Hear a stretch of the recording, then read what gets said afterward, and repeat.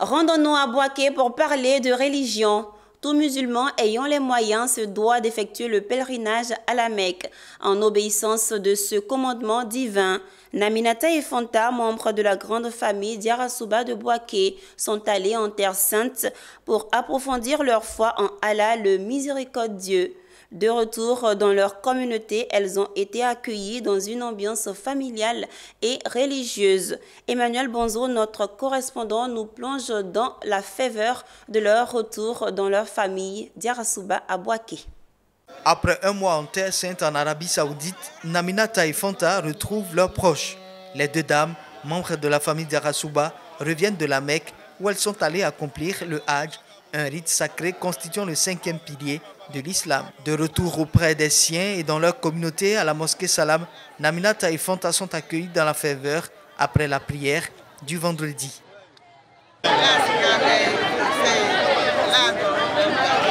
Après les félicitations, direction le domicile des Diarasuba au quartier Habitat de la Caisse.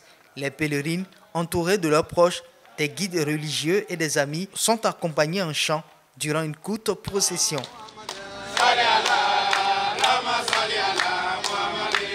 C'est avec plaisir que j'ai accompli ce pilier et c'était vraiment très passionnant.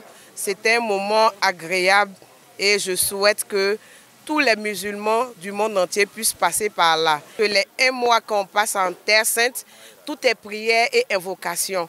Et on ne peut pas passer par là et ne pas garder ses habitudes. Je prie Dieu de me donner la force de garder ce cap jusqu'à ma mort.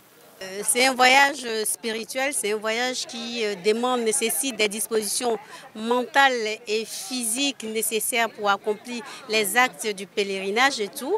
Donc du retour, on reste vraiment dans tout emballé, on se sent, en tout cas personnellement, je me sens enveloppée par tout ce que j'ai vécu sur cette terre et tout. Si Dieu a permis qu'elle revienne sain et sauve, c'est une joie immense. Et le pèlerinage, c'est la renaissance et c'est la renaissance. Donc nous pouvons profiter de ce vendredi-là afin de venir euh, prendre des bénédictions avec elles et leur donner des conseils d'usage, comment préserver les acquis du pèlerinage. Prières, invocations et conseils leur sont adressés pour continuer l'approfondissement de leur foi après l'accomplissement du pèlerinage à la Mecque.